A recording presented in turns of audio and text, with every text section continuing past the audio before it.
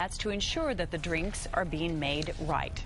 Probably use one of those hot cup of coffees in the mornings around here. It's getting cool. There's no doubt about that. You're right. And so the question is, did we get the snow across the northern mountains last night? And the answer? Yes, we Aha. did. An inch or two Beautiful. up around areas like Wheeler Peak. So some pretty cool stuff up there. And the leaves, as you guys can see from this shot, are changing. And it's a great time to go up there to check it out. There it is. Some more stuff from Tom Conway. Tom, thanks very much. Good looking leaves. And of course, nice to see the snow up in the Wheeler Peak Wilderness area.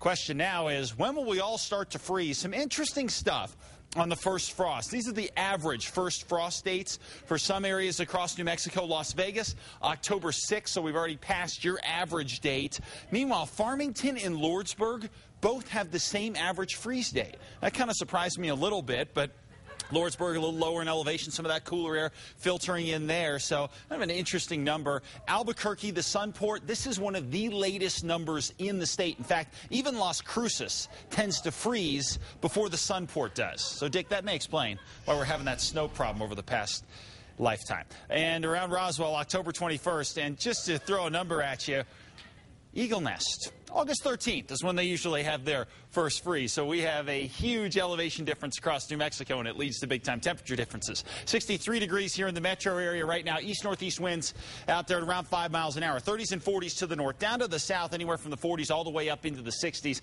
Now, as far as showers go, not an issue for us tonight. Largely clear skies with high pressure overhead. The next couple of days look very, very quiet for us. We're going to have nice weather out there, lots of sunshine. Now, the high is eventually going to get shoved to the east of us by about Saturday into Sunday. That will allow for just a little bit of moisture to creep in to southwestern sections of the state. This could lead to an occasional shower down here, along with partly cloudy skies over the weekend. But it's nothing I'd worry about. The bigger story for us starts on Monday. And what does this next storm have going for it other than a sweet pair of acid wash jeans?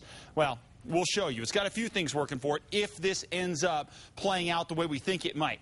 As the low drops into the southwest, it's going to draw pretty good Pacific moisture in across the western portion of the state. We also may draw some Gulf moisture in here. That moisture convergence will make for some pretty good rain and possibly mountain snows. And when you throw a cold front in on top of all of this, that's going to mean the possibility for us to start to grab some real mountain snows here.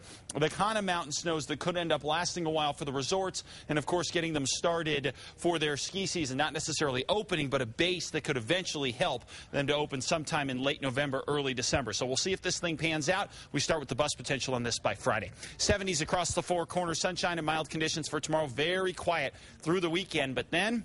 As we head into Monday, Tuesday, and Wednesday, winter mix possible higher up outside Durango and rain possible around Farmington. Down across the south and west, temperatures here for tomorrow 70s and 80s. Lots of sunshine over to the southeast. Good day here tomorrow, too.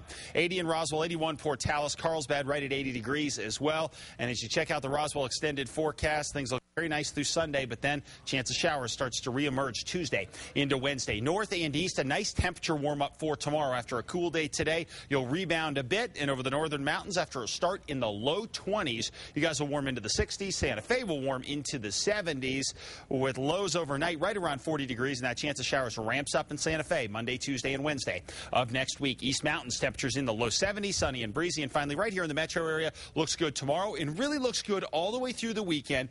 Temperatures comfortable, nice and cool in the morning. By the afternoon, just warm enough so you won't need any sort of coat or anything like that. Looks good.